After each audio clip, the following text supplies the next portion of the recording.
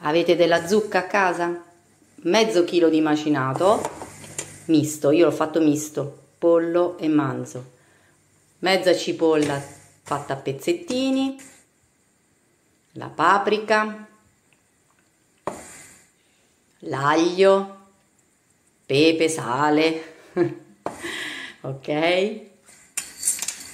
E poi, ah, intanto stavo um, piastrando la zucca a fette. Ne ho lasciate alcune grandi. Ah, noce moscata anche, eh? È una spezia che si usa poco, invece è molto buona. E non solo nella bechamel. Il prezzemolo. Dicevo, eh, stavo piastrando la zucca e ho lasciato delle fette grandi da mettere eh, alla fine del nostro timballo, sì perché è un timballo, eh, sopra perché nella base della, della teglia da forno possiamo anche metterla che sono fette più piccole, non è un problema. Quindi in padella mettiamo il composto che abbiamo eh, realizzato e lo facciamo cuocere un po'. Io ho messo anche mezzo bicchiere di vino, voi fate come credete.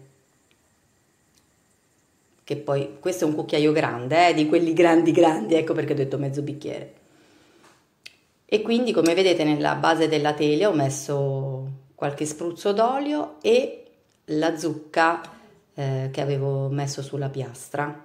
Così che anche la zucca è un pochino cotta perché se no lascia parecchia acqua quando la metti nel forno. E poi come al solito metto le mie spezie anche sopra la zucca quindi il sale e l'aglio. Ho preso un'altra mezza cipolla e gliel'ho messa sopra la zucca e poi il macinato che avevo passato in padella.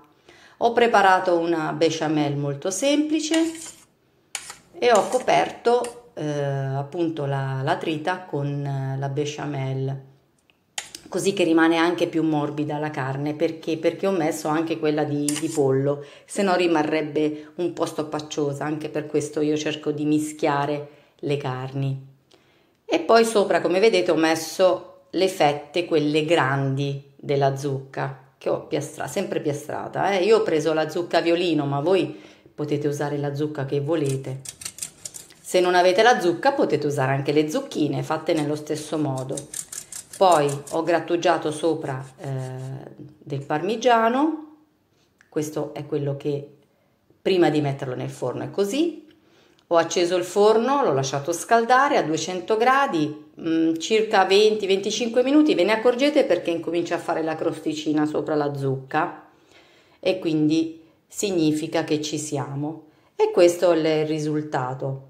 A chi piace può anche mettere la mozzarella. Io ho un po' di intolleranza e quindi evito di, di usare troppa mozzarella. La uso sulla pizza. e questo è il risultato. E, um, vi assicuro che è buono, perché è buono, e poi è qualcosa di, di diverso da proporre per una cena veloce.